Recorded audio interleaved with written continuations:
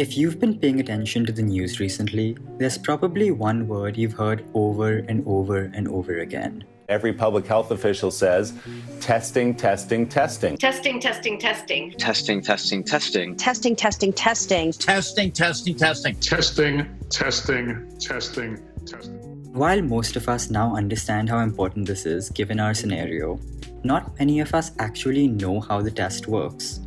The science behind testing for the presence of a viral infection in the human body is really fascinating and massively pertinent to current events. So grab your mask, get some sanitizer, and let's get into it.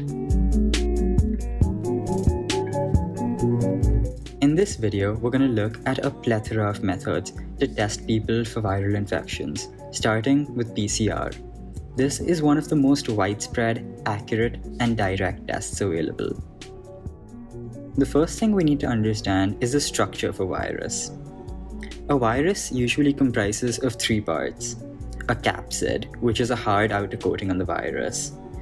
Genetic material, usually comprised of DNA or RNA. And surface proteins on the capsid. The genetic material, or RNA, is like a barcode or a fingerprint and is different and unique for every single virus. If you look closely, you realize that the RNA is just a super long sequence of molecules called bases, which come in four different flavors adenosine, uracil, cytosine, and guanine, or A, U, C, and G for short. These base molecules can be positioned in any order and can be linked up in a chain many, many thousands of molecules long. What's key to understand is that the order of these base molecules is the same for all viruses of the same strain. Thus, if scientists know the sequence of bases for a virus, they can look for that specific sequence in patients to see if a patient has been infected by a virus. To do so, they first need a sample Respiratory viruses usually present in a patient's airways, saliva, and mucus instead of the blood, which is why you often see doctors and nurses using swabs and not blood tests. Once doctors have a sample of the virus, they can search that sample to see if the RNA present in that sample matches what they're looking for. But searching for viral RNA can be really tricky, and sometimes they hide in plain sight. To make the search easier, scientists make many, many copies of the sample, amplifying their chances of spotting the RNA that they're looking for. This is done by a process called polymerase chain reaction, or PCR for short. In this process, scientists target a small portion of the RNA and cut it out of the entire RNA chain. This target fragment is then replicated over and over again until there's enough for it to be easily sequenced. Sequencing the resulting RNA and comparing it to the virus allows scientists to confirm whether or not a person is infected.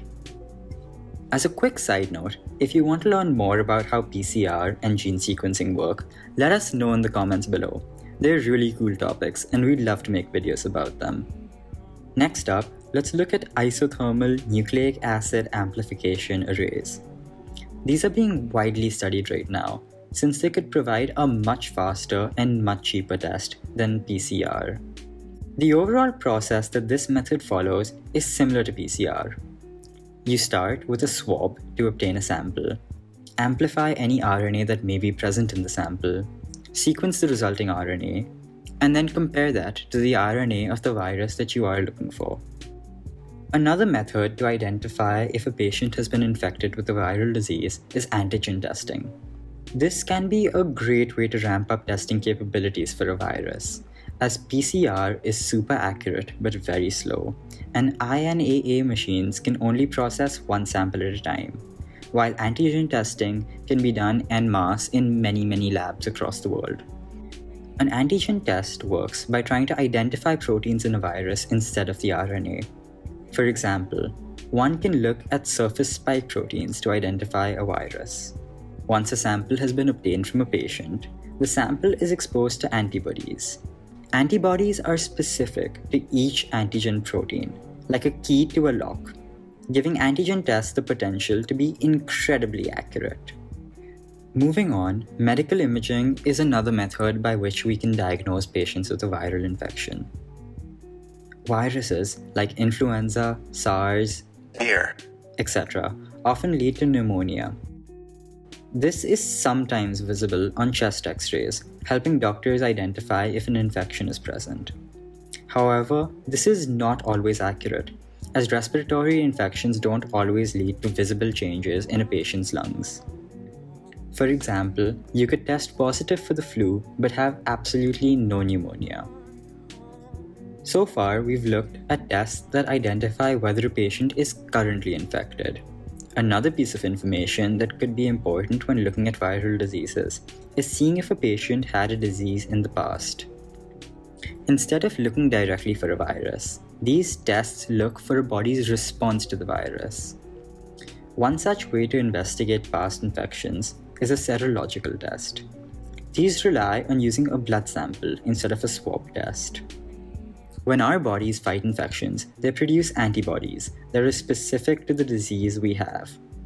In the case of the virus, for example, patients primarily produce two antibodies called immunoglobulin M, or IgM for short, and immunoglobulin G, or IgG for short and these are usually most visible one week and two weeks after the infection, respectively. To check for the presence of these antibodies, reagents are added to blood samples and then looked at under an analyzer. Positive results are often identified as they glow brightly in fluorescent colors when exposed to certain wavelengths of light, such as ultraviolet light. There is a chance that the presence of antibodies can lead to immunity from a strain of a virus, but this is different for every virus. And given our current situation, we simply don't know enough to be able to say whether or not antibodies can lead to long term immunity. Alright, so that about sums up our discussion of different ways to test for viral infections. Each method has pros and cons, and honestly, it's amazing to see that science is able to give us so many options to identify whether someone is sick or not. Thanks for watching. I hope you liked that video. If you did, smash the like button and share the video with others who might be interested. And don't forget to subscribe to the channel. To watch more videos, click on any of these two on your screen right now.